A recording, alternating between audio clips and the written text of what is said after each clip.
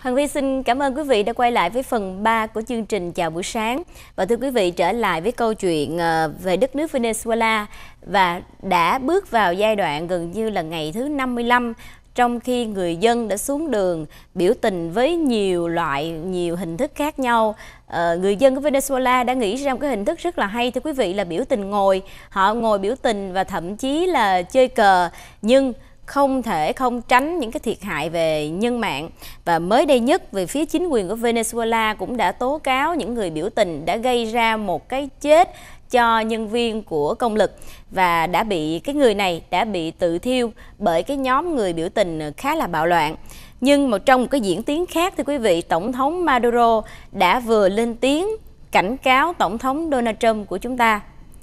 Tổng thống Nicolas Maduro đã lên tiếng phản đối gây gắt tổng thống của chúng ta do Tòa Bạch Ốc vừa mới đưa ra một cái lệnh trừng phạt mới và lên án khá là mạnh mẽ cái chính phủ xã hội chủ nghĩa cầm quyền tại quốc gia Nam Mỹ, giàu tài nguyên nhưng cuối cùng lại là một quốc gia gần như rơi hoàn toàn vào cái hố sâu của sự khủng hoảng. Một cái tuyên bố phát đi từ chính phủ Maduro cáo buộc Washington đang tìm cách gây bất ổn cho Caracas và có hành vi xúi dục kích động từ bên ngoài. Cáo họ cũng cáo buộc Washington đã tài trợ cho phe đối lập Venezuela, trong khi lại phớt lờ các vấn đề trong nước mình như bất bình đẳng về thu nhập và vi phạm nhân quyền.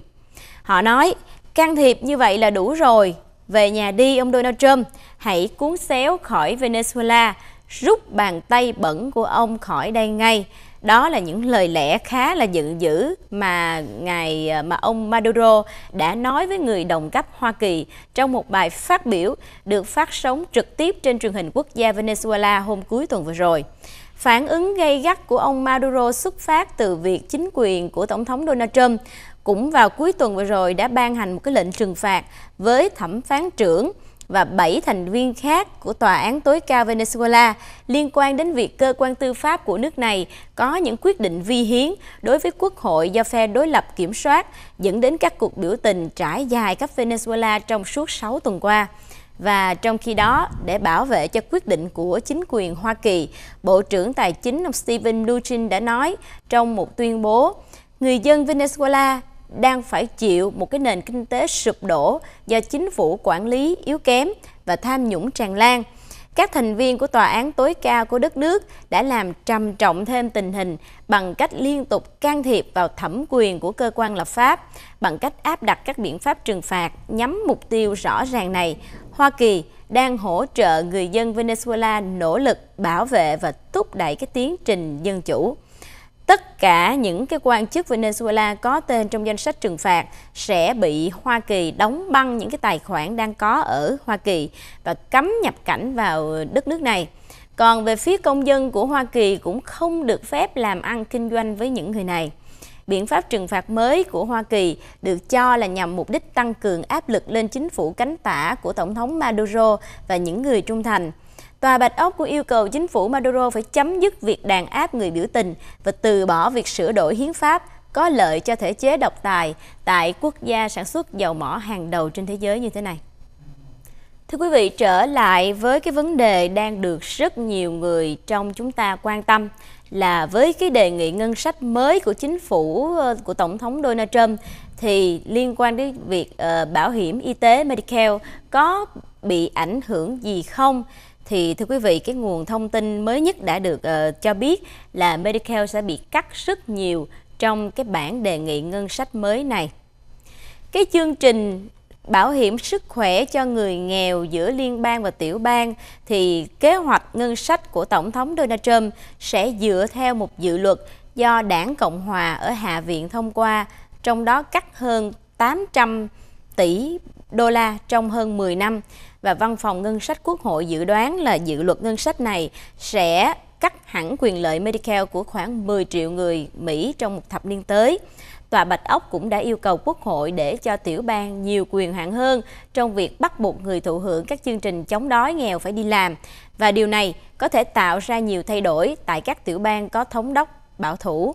Nhiều chương trình chống đói nghèo có các phần do liên bang và tiểu bang quản trị và khi Washington cho phép các tiểu bang bắt buộc người thụ hưởng phải đi làm, thì điều này có thể có ảnh hưởng lớn trong việc ai được hưởng các khoản tiền trợ cấp và trong bao lâu. Có nhiều chương trình xã hội được tạo ra trong thời kỳ khủng hoảng tài chính, làm cho nhiều người trong phe Cộng hòa phàn nàn là cần phải có giải pháp buộc người thụ hưởng rút ra khỏi chương trình hoặc là đi làm trở lại.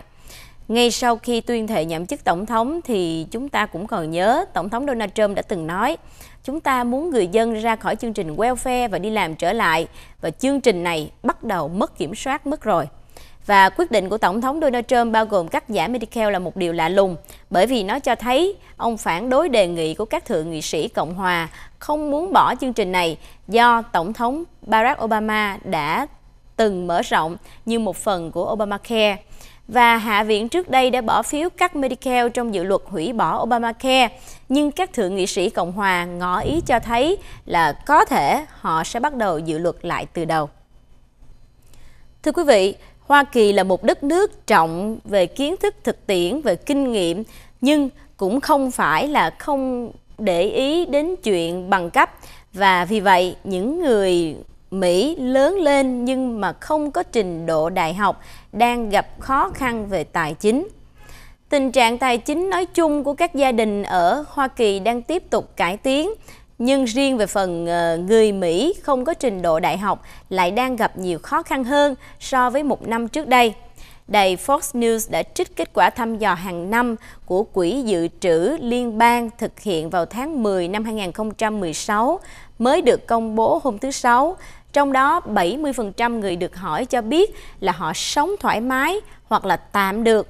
đây là một tiến bộ so với chỉ có khoảng 70% của năm trước và khoảng 62% của năm 2013. Và sự tiến bộ này phản ảnh từ sự tăng trưởng ở thị trường việc làm với mức thất nghiệp xuống chỉ còn 4.4%, như vậy là giảm từ 5 chấm và nay gần tới mức mà giới kinh tế xem như là hoàn toàn có việc làm. Tuy nhiên, 40% người chỉ có trình độ trung học trở xuống được hỏi là họ đang gặp tình trạng khó khăn về tài chính và chỉ 17% người có trình độ đại học nói là có khó khăn tương tự. Cũng có nhiều khác biệt nếu xét theo chủng tộc thì 51% người da trắng nói cuộc sống của họ khá hơn so với cha mẹ họ và con số này là 60% nơi người da đen và 56% người Hispanic. Thăm dò cũng cho thấy thu nhập khá hơn không có nghĩa là dành dụng được nhiều hơn hay việc làm ổn định hơn. 44% cho biết là họ phải khó khăn lắm mới chắc chiêu được. Chỉ có 400 Mỹ Kim khi cần chi tiêu khẩn cấp, giảm 2% so với năm 2015 và tỷ lệ này là 17% nơi giới công nhân. 24% người có trình độ trung học trở xuống, thưa quý vị, cho biết là lịch trình làm việc của họ bị chủ thay đổi hàng tuần và 2 phần 3 trong số đó nhận được lịch làm việc trước 6 ngày hoặc ít hơn và có đến 37% trong số họ hoặc chờ gọi thì mới được làm hoặc được báo trước một ngày. Như vậy thì rõ ràng là uh, với một cái xã hội văn minh tiên tiến như Hoa Kỳ thì cái chuyện phải trang bị cái bằng cấp bên cạnh cái kiến thức thực tiễn là một việc hết sức là quan trọng. Vâng, quý vị vừa xem xong phần 3 của chương trình Chào buổi sáng và Hoàng Vi rất mong nhận được những ý kiến đóng góp của quý vị thông qua số điện thoại đang ờ, chạy ở phía dưới chương trình. Và Hoàng Vi cũng không quên mời quý vị chiều nay từ 5 giờ đến 7 giờ đón xem chương trình đấu giá với Lâm trừ Vĩ. Hy vọng là quý vị sẽ tìm được những thông tin bổ ích À, cũng như là những kiến thức tiêu dùng thông qua chương trình này. Một lần nữa xin cảm ơn quý vị đã theo dõi chương trình và rất mong được gặp lại quý vị vào buổi sáng ngày mai. Thân ái chào tạm biệt.